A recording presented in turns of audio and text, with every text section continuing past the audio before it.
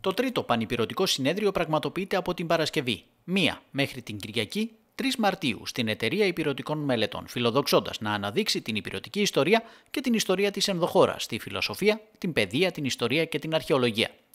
Περισσότεροι από 70 σύνεδροι ακαδημαϊκοί στην πλειονότητά τους, αλλά και νέοι ερευνητές θα λάβουν μέρος στο συνέδριο, που αποτελεί τον τρίτο σταθμό της προσπάθειας που ξεκίνησε το 2011 και συνεχίστηκε το 2016.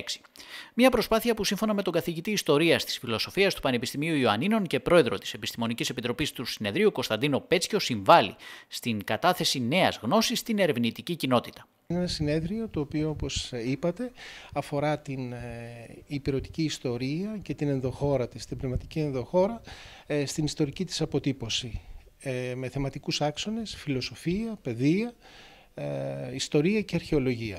Θα λάβουν μέρος γύρω στους 75 συνέδρους, ακαδημαϊκούς, ακαδημαϊκούς δασκάλους, δηλαδή συναδέλφους στο Πανεπιστήμιο, αλλά και νέους ερευνητές.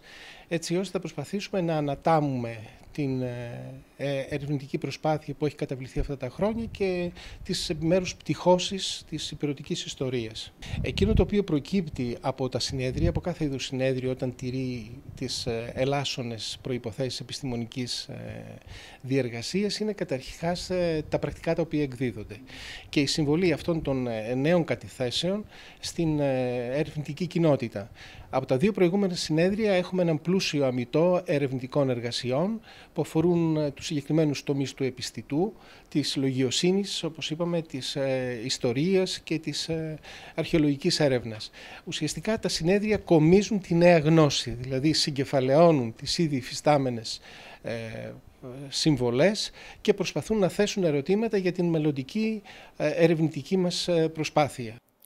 Ένα βασικό ζητούμενο βέβαια είναι αν οι ανθρωπιστικές επιστήμες και οι κλασικές σπουδές, όπως η έρευνα σε αυτούς τους τομείς μπορεί να θεωρηθούν νέα γνώση, αφού ο όρος χρησιμοποιείται σχεδόν μονοπωλιακά για τις θετικές επιστήμες και την τεχνολογία και να αποδείξετε ότι η νέα γνώση υπάρχει και στις θεωρητικές ή στις κλασικές επιστήμες.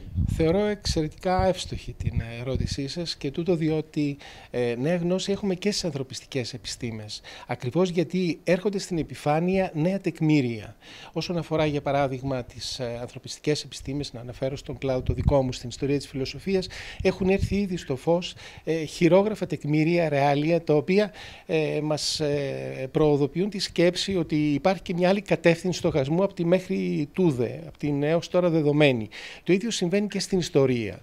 Οι νέες πηγές ε, θεωρούνται μέσα από ε, ένα νέο πρίσμα και ένα νέο ερμηνευτικό κυρίως πρίσμα και το ίδιο μπορεί κανείς να πει ότι επισυμβαίνει και στην αρχαιολογία. Κατά συνέπεια νέα γνώση υπάρχει και στις θεωρητικές επιστήμες, αυτό που είπατε δηλαδή στον ανθρωπιστικό τομέα και τούτο διότι έχουμε τα ρεάλια, μέχρι τώρα δεν τα γνωρίζουμε όσον αφορά τη χειρόγραφη παράδοση, όσον αφορά το διάλογο ο οποίος θυμήφθη κατά τη διάρκεια ε, παραδείγματι της τουρκοκρατίας.